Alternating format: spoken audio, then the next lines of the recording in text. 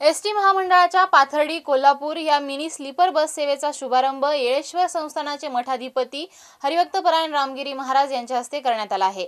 पाथर्डी ते कोल्हापूर हा लांबचा प्रवास सुखकर होण्यासाठी तीस प्रवासी आरामदायी असणाऱ्या सीटवरती बसून तर पंधरा प्रवाशी झोपून जाण्याची क्षमता असलेली एस टीने बस सेवा प्रवाशांकरता उपलब्ध केली आहे. यावेळी पाथर्डी आगाराचे आगार प्रमुख महेश कासार वाहतूक निरीक्षक दिगंबर आव्हाड भाऊ गीते बंदी बडे आदींसह प्रवासी आणि नागरिक यावेळी उपस्थित होते. या एसटीच्या दर्जेदार उत्तम सेवेबद्दल हरिभक्तपरायण रामगिरी बाबा यांनी समाधान व्यक्त करून शुभेच्छा दिल्या आहेत.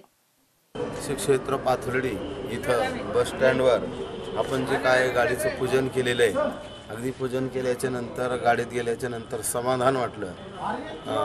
पाथर्डी ते असणारे कोल्हापूर आदिमा शक्ती जगदंबेच्या दर्शनासाठी जाणारे भक्तगण आणि अनेक असणारे प्रवासी. अगदी गाडीत बसल्याच्या नंतर एक आगळं आणि वेगळं समाधान वाटलं. आपण सरकारने अगदी ही व्यवस्था केली. आपण सरकारचे अभिनंदन करू.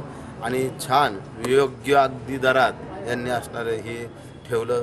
अगदी यांचं सर्वत्र असणार बस स्टँडचं आणि साहेबांचं असणारं हार्दिक स्वा स्वागत.